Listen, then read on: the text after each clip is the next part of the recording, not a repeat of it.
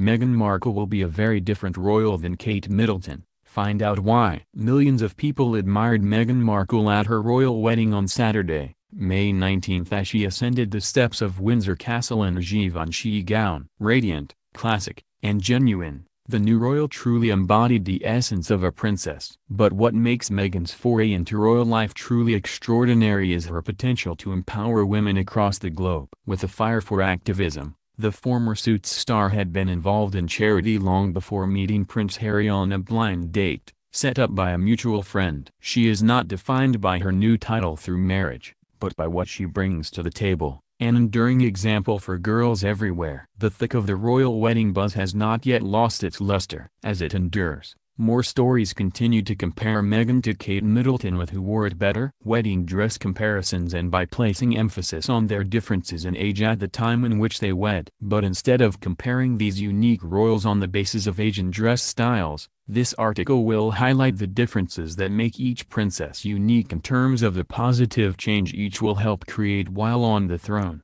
Scroll down to read why Meghan will be a different royal than Kate. Kate and Meghan have different backgrounds. Kate studied a variety of subjects after high school at Marlborough College from chemistry to art. And as a student, Kate sought more culture beyond the classroom and took a gap year at the British Institute in Florence, venturing to Chile and sailing about the English Channel along the way. Her zest for adventure translated into her passion for sports, as well, catapulting her into several athletic teams throughout her college career.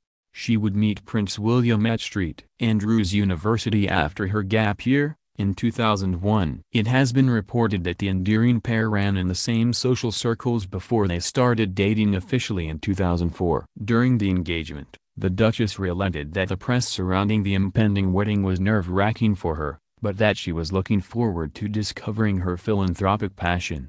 As an actress with nearly 20 years in the spotlight, Meghan seamlessly maintained composure in the chaos of the royal wedding. An American with roots in entertainment, her bio stands out among her royal family members. From childhood through high school, she grew up near the crux of the film industry in L.A. She jettisoned to the Midwest for an Ivy League education at Northwestern University, where she studied theater and international relations. The ambitious California native landed her first TV appearance in 2002 on General Hospital and moonlit on other hit shows, such as 90210 and CSI, NY before landing a permanent role as Rachel Zane on Suits in 2011. Throughout her showbiz career, the actress devoted her time to many philanthropic initiatives, exuding the qualities of a princess before she ever met her prince.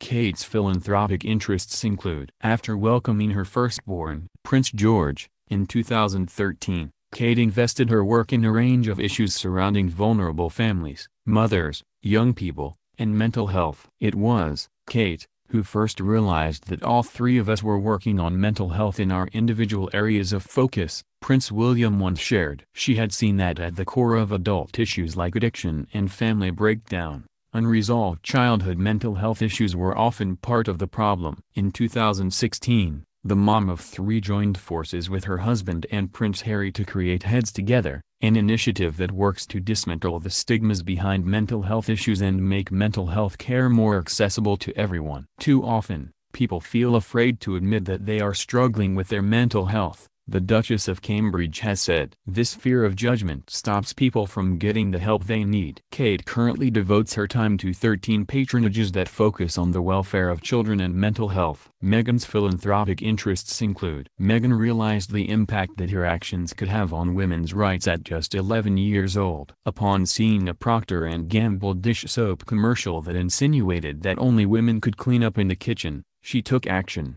The actress and activist to-be wrote letters to Hillary Clinton, Gloria Allred, and the producer of a local children's TV show. Hillary and Gloria each replied to her with letters of encouragement, and the producer responded to her and had her interviewed for the show. After the show aired and she discussed the blatant sexism in the ad, Procter & Gamble pulled the advertisement and edited it to say people everywhere are fighting greasy pots and pans. You will hear people saying they are helping women find their voices, Meghan said during an appearance at the Heads Together Forum, in February. I fundamentally disagree with that, because women don't need to find their voices, they need to be empowered to use it, and people need to be urged to listen. From childhood through adulthood, Meghan has bolstered her words with action. She became the UN Women's Advocate for women's political participation and leadership in 2015, promoting gender equality across the globe. In 2016, she joined World Vision as a global ambassador, with which she visited India to empower women's rights to education in 2017. Through her work there,